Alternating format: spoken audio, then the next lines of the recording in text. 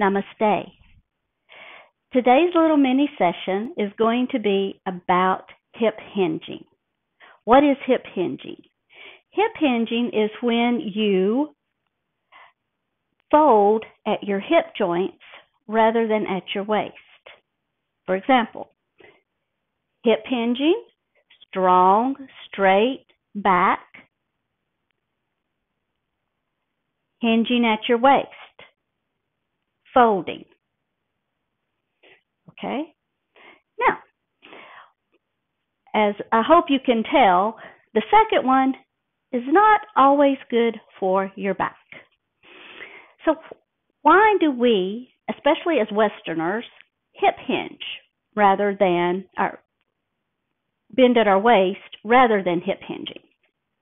Well, when we're infants and babies and we're learning how to walk and to get around, if we see something in the floor that we want, we don't generally squat and pick it up.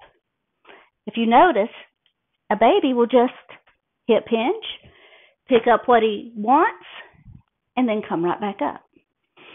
So at some point, we forget how to do that. Why? Well, there's could be several reasons. Our lifestyle, we become sedentary as we age, especially now with all everything coming at us on our phone and on our computers. We sit a lot. When we sit a lot, our hamstrings become shorter. Our hip flexors become shorter when we sit in a chair, we tend to have our pelvis tilted back.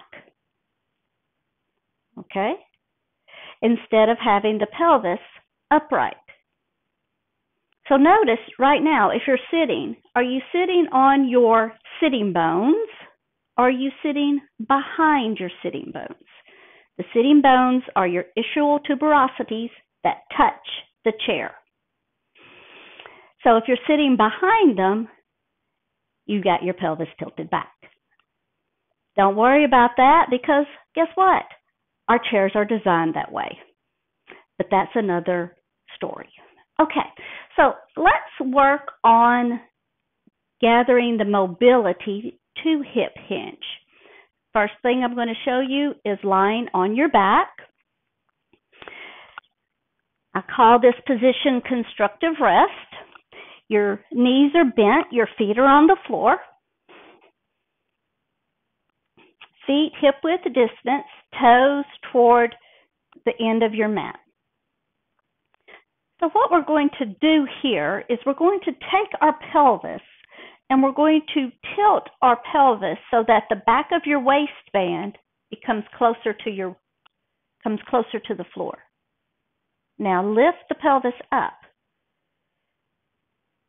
Okay, that's tilting the pelvis forward. Press the back of the waistband down. Lift the back of the waistband up. So just doing this several times, inhaling as you lift the waistband, exhaling as you press the back of the waistband down. So now you can see what's going on this angle between your pelvis and your thighs is becoming smaller. That's your hip hinge. That's what we want.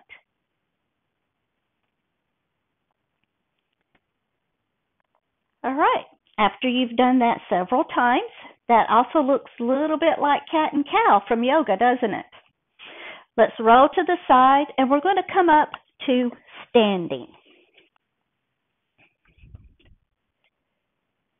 Next, we're going to be working on stretching the back of the legs, the hamstrings, the calf muscles. And I'm going to show you this using a chair. Any chair will do.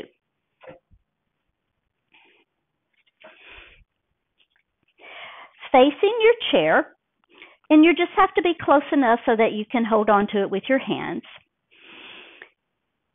Come in to Utkatasana, which is chair pose in yoga. Take your hips way back. Your knees track over the middle of your feet. hips go back, hips go back. Bring your tummy towards your thighs and bring your hands towards your chair seat. So I'm holding onto my chair seat here. At this point, lift your heels off the floor so you're on your tippy toes. I hope you noticed I did not change my pelvis. My pelvis and hips still have that same relationship with my thighs. At this point, I'm going to keep that same relationship as I work to straighten my legs. At this point, I'm going to slowly lower the heels down, trying to maintain that relationship between my torso and my thighs. You're probably going to be feeling some stretch on the back of the legs at this point. To come out, straighten your arms, hands to the hips, roll your shoulder blades on your back, lift your chest using the tummy muscles. Okay, I'm going to show you that again with the chair. Utkatasana, chair pose. Hips go way back, back, back, back. Bringing the tummy closer to the thighs. Get that close relationship.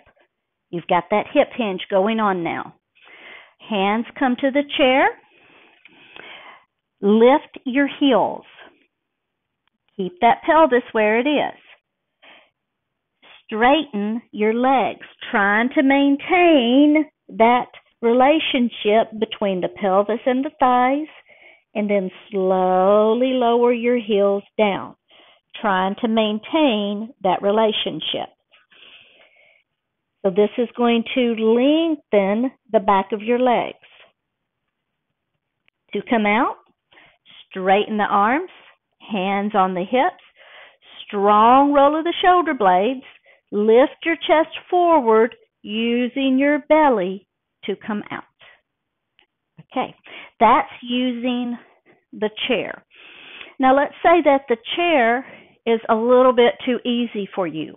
Okay, then you can always use your blocks. Okay, and don't forget the blocks have many heights. Standing in front of your blocks, come into chair pose. Hips go way, way back. Notice that the hips go back, the knees don't go forward.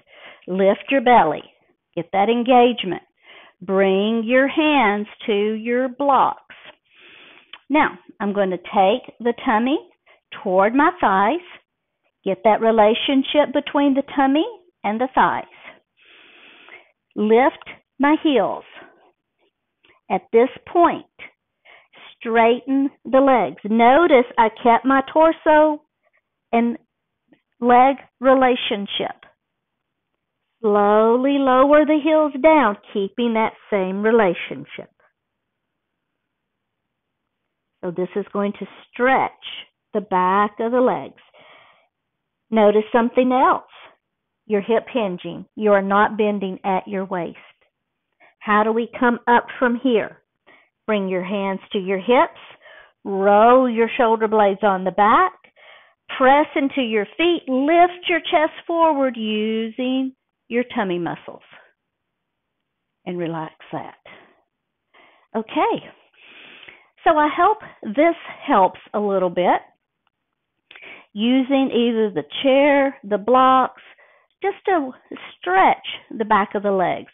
Learning how to hip hinge. Thank you for watching. Namaste.